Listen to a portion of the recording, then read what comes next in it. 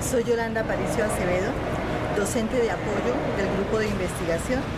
Eh, en este momento estamos trabajando con los grupos semilleros, eh, ya tiene nombre, el nombre es ECO, nos estamos reuniendo los jueves a partir de las seis y media en la sede de Las Pachas. ¿Cuál es el objetivo que tenemos alrededor de, este, de conformar estos grupos?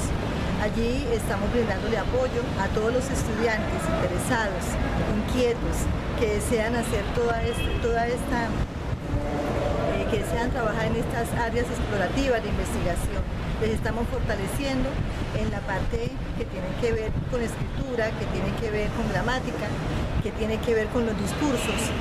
Y eh, cada uno de los estudiantes que estén interesados en hacer investigación, no lo piensen dos veces esa es la puerta de entrada a todos esos mundos desconocidos en los cuales nosotros debemos hacer carrera, en los cuales nosotros debemos indagar. Les esperamos para que nos acompañen, para que disfruten de estos espacios, para que el conocimiento sea una parte de sus vidas. Gracias.